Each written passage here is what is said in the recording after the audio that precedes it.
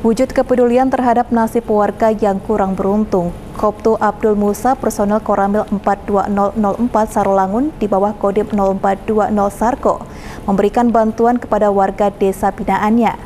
Bantuan yang diberikan ini berupa kursi roda dan pakaian.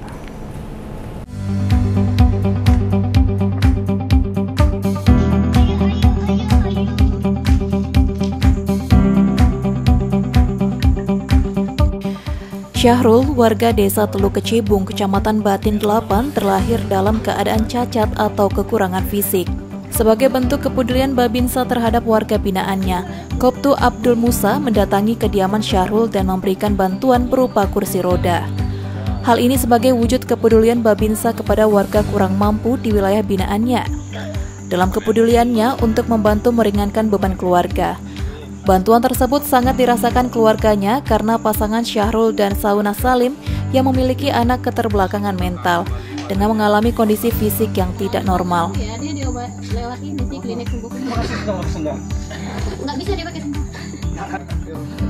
Musa tergerak setelah mendatangi dan melihat langsung kondisi ekonomi Syahrul yang kurang beruntung.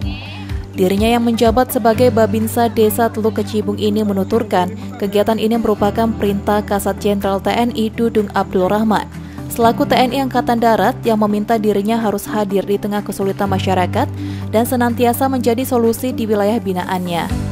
Ini saya selaku Babinsa Desa Teluk Kecibung, Kecamatan Batilapan, Kabupaten Sarolangun telah melaksanakan perintah Kasat poin kelima yang isinya TNI AD harus peduli terhadap warga sekitarnya, termasuk warga binaan. Sesuai dengan pesan amanat Kasat Jenderal TNI Dudung Abdurrahman STME bahwa kita selagu TNI harus banyak bersedekah.